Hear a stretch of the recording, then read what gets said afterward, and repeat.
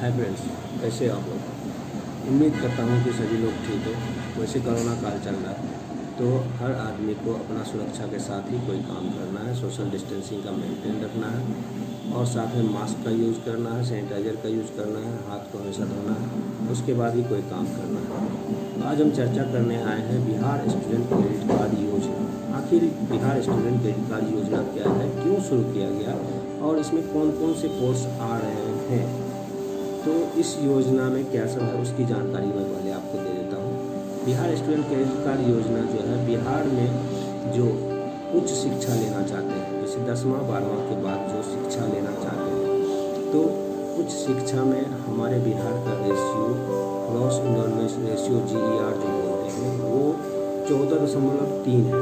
उसको बढ़ा के ये राष्ट्रीय अनुपात में कम से कम 24 में ले जाना लेकिन हमारे बिहार सरकार का लक्ष्य 30 के आसपास जाने का है कि कम से कम 30 के बिहार रेशियो 30 के ऊपर जाए। तो इसके लिए उन्होंने ये योजना शुरू की, जिसमें चार लाख रुपये तक की सहायता राज्य सरकार के द्वारा सभी वर्गों के लोगों को दी जाती है। इसमें कोई ये नहीं है कि जनरल में आ रहे हैं एस सी में आ रहे हैं, ओबीसी में आ रहे हैं, सभी वर्गों के लोग, चाहे वो किसी भी जाति के हो, किसी भी धर्म के हो, उनसे कोई मतलब नहीं। तो जी आर बढ़ाने के लिए राज्य सरकार ने ये योजना लाई है और इस साल 2020-21 में कम से कम एक लाख स्टूडेंट को ये क्रेडिट कार्ड देने का लक्ष्य रखा गया है। पिछले साल पचहत्तर हज़ार लोगों को ये क्रेडिट कार्ड दिया गया और इस साल ये लक्ष्य एक लाख किया गया है।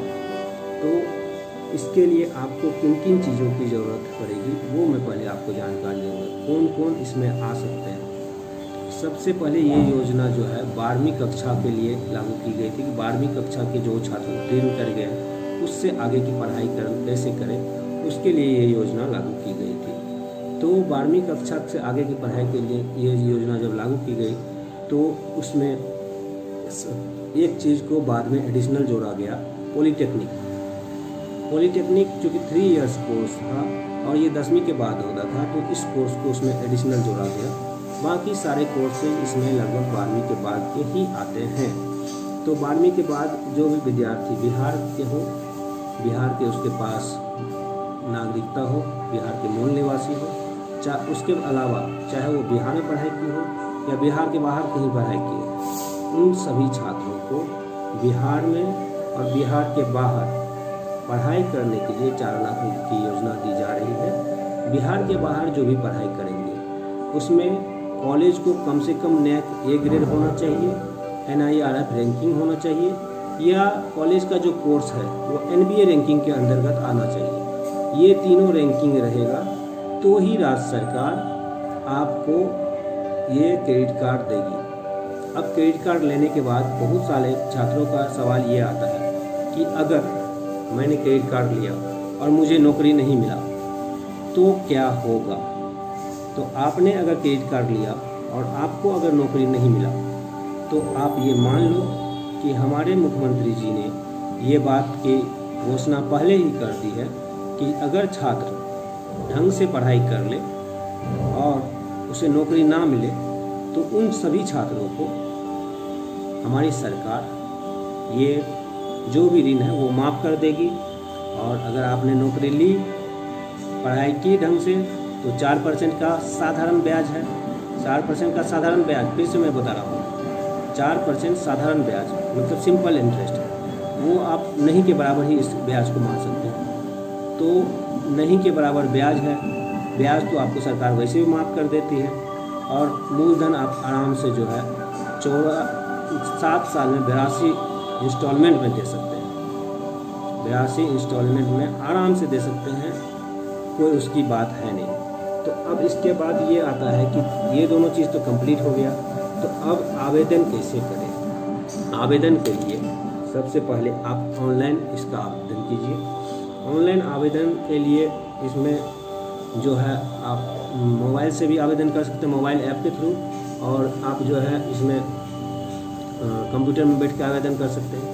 उसके बाद आवेदन करने के बाद आपको जो है एक ये रसीद मिलेगा कि इसके बाद उसको ले करके जिला निबंधन परामर्श केंद्र डी आर सी सी में जा करके अपना जो है फॉर्म को जमा कीजिएगा।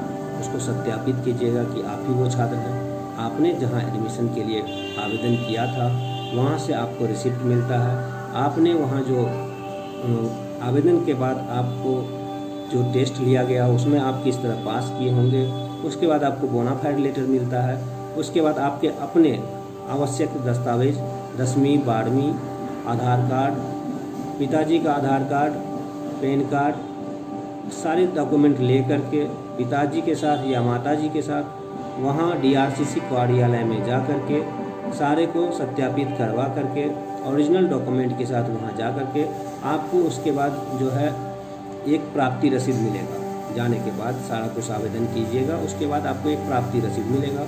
प्राप्ति रसीद ले करके आप घर आइएगा और वहाँ से आपको एसएमएस और ईमेल के माध्यम से समय समय पर आगे की जानकारी दी जाएगी कि आपका पेमेंट कॉलेज में गया है, आपका क्या हुआ है, नहीं हुआ है, किसी कारण से अगर रिजेक्ट होता है तो वो भी बताया जाएगा कि आपका ये डॉक्यूमेंट छूट गया है। तो वो डॉक्यूमेंट आप अपने हिसाब से आप ये करके अपना ले जाइएगा। इसके बाद जो है, आवश्यक दस्तावेज़ मैं आपको फिर से बता देता हूँ एक बार। आवेदक एवं सह आवेदक का आधार कार्ड, बिहार सरकार के गाइडलाइन के हिसाब से। मैट्रिक टेन प्लस टू एवं अंतिम सफल परीक्षा पत्र का अंक प्रमाण पत्र प्राप्त छात्रवृत्ति, निःशुल्क शिक्षा संबंधित प्रमाण पत्र इत्यादि। अकाउंट नंबर बैंक में आपका जिस भी बैंक में खाता हो, उसका पूरा डिटेल जिस संस्था में नामांकन किए हैं, उस संस्था का बोनाफाइड लेटर एडमिशन लेने का रसीद कि आपने कॉलेज को पाँच हज़ार, दस हज़ार, दो हज़ार, चार हज़ार, जो भी जमा किया है, उसका रसीद। ये सारा डॉक्यूमेंट जो है और घर का जो है कोई भी आवासीय प्रमाण पत्र बिजली बिल, टेलीफोन बिल, कोई भी आप ले करके जा सकते हैं। इसके बाद आप जो है, may I help you counter होता है डीआरसीसी के अंतर्गत। आपको हर जिला में, आपके ज़िला में, हर जिला में डीआरसीसी काउंटर है, उस काउंटर में जाइएगा और उस, वो आपको पूरी तरह से मदद करते हैं। आवेदन प्रक्रिया आपकी स्वीकार कर ली जाएगी, आपको प्राप्ति रसीद मिल जाएगा। प्राप्ति रसीद मिलने के बाद आप जो है आराम से उसको आगे की प्रक्रिया आपकी हो जाएगी और आप अपने कॉलेज में पढ़ाई कर पाएँगे।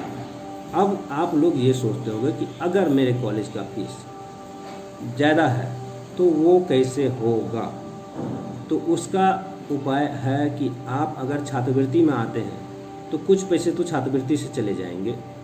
अगर आप छात्रवृत्ति में नहीं आते हैं तो बाकी पैसे आपको खुद से भरने हैं। तो आपको मान लो, अगर आपने छः लाख का कोई कोर्स किया तो आपको दो लाख रुपये खुद से भरने हैं, चार लाख सरकार से जाएँगे। मतलब पचास हज़ार रुपये सालाना आपको खुद से लगाने पड़ेंगे। तो ये सब बात के, को आप अपने दिमाग में अवश्य रखें। मैं आपको फिर से बता देना चाहता हूँ कि इसके अंतर्गत कौन कौन से कोर्स आते हैं, इसकी जानकारी आप ले लें। नंबर एक B A B S C B com all subject ये आपको इसके अंतर्गत डाल दिया गया है, क्योंकि पहले लग को लग रहा था कि ये सब्जेक्ट नहीं आएँगे। M A M S C M com all subject एलिम Sanskrit B C M C A B S C information technology computer science computer application B S C agriculture B S C library science bachelor of hotel management B tech all subject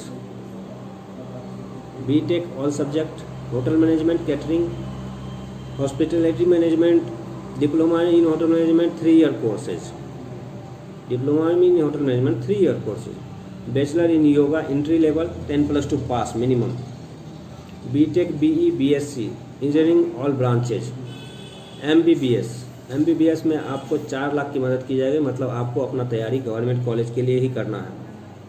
क्योंकि private college में किसी भी college का fees आज के date में दस लाख से कम नहीं होता। है तो इस बात को भी ध्यान में रखिएगा। B S C nursing B pharmacy bachelor of veterinary science and surgery bachelor ayurvedic medicine and surgery B U M S B H M S B D S G N M bachelor of physiotherapy bachelor of occupational therapy diploma in food and nutrition and dietitian bachelor of mass communication media and journalism और भी courses जो हैं bachelor of fashion technology है bachelor of architecture हैं B P Ed bachelor of physical education है। B Ed नहीं है bachelor of education नहीं है, याद रखिएगा। B S C M tech integral courses diploma in food processing diploma in food and beverage services B A B S C B B A B M B A B F A bachelor of fine art B L L B five year courses degree diploma in aeronautical pilot training and shipping और last में जो course जोड़ा गया है, वो हमेशा याद रखिएगा पॉलिटेक्निक और इसमें एज की पात्रता जो है, वो 25 साल तक है डिप्लोमा लेवल और 25 साल तक डिप्लोमा और ग्रेजुएशन लेवल के कोर्स के लिए है, और पोस्ट ग्रेजुएशन के लिए 30 साल मैक्सिमम है। तो इस सभी बात को हमेशा ध्यान में रख करके आगे की कैसे हमें ऋण लेना है, नहीं लेना है, ये सभी सोचना है। और नैक का A grade college N B N I R F rank college ही में पढ़ाई करना है। बिहार के अंदर सभी कॉलेजेस में पैसे जाएँगे। बिहार के बाहर याद रखिएगा, गवर्नमेंट कॉलेज होना चाहिए या फिर नैक का कॉलेज होना चाहिए। अदरवाइज़ किसी कॉलेज को पेमेंट नहीं जाना है। धन्यवाद।